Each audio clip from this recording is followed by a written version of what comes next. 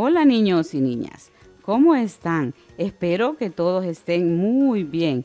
Este es un programa destinado para las familias que tienen niños y niñas en cuarto grado, aunque todos son muy bienvenidos. Espero que todos estén tomando las medidas de bioseguridad, el uso correcto de la mascarilla y gel de mano, aunque lo mejor es quedarnos en casa lo más que puedan.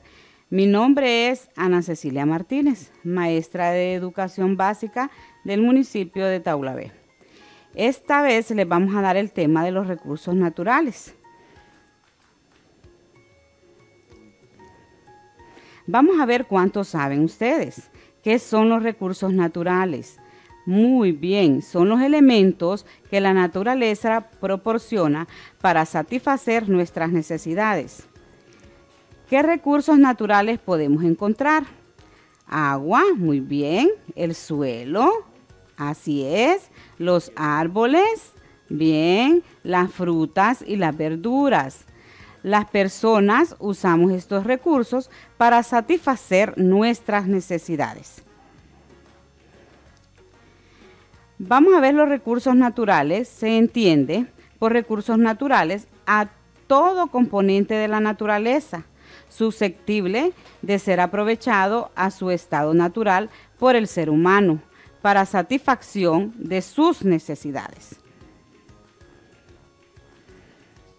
La energía eólica, abundante, renovable y limpio que ayuda a disminuir las emociones de gases de efecto invernadero al reemplazar fuentes de energía a base de combustible.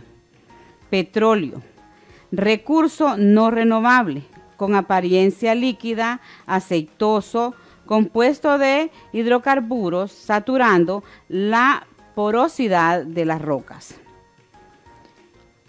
Gas natural. Es una fuente de energía como el carbón y el petróleo. Está constituido por una mezcla de hidrocarburos y es un recurso no renovable. El agua es un líquido sin color e insípido que cubre a cerca del 71% de la tierra y el 97% de agua. En la tierra es salada y el otro 3% es de agua dulce que se encuentra en los ríos, corrientes, acuíferos y en vertientes que forman parte del agua potable. Es un recurso renovable y se usa correctamente. En conclusión, niños y niñas, todo componente susceptible de la naturaleza es recurso natural. Hay recursos naturales renovables y no renovables. Bueno, niños, lo que más les gusta a ustedes es la asignación de tareas. Así es de que anoten, ¿verdad? Y esperamos que todos trabajen en su casita eh, con las tareas que nosotros asignemos este día. Van a ver, escribimos tres ejemplos de recursos naturales que utilizamos en nuestra comunidad.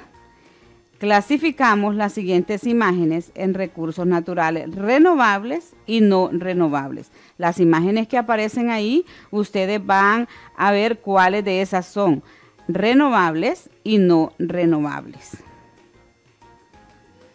Bueno, niños, te queremos estudiando en casa y siempre cuidándose lo más que puedan. Gracias a ustedes, padres de familia, por ayudar a sus niños. Hasta la próxima.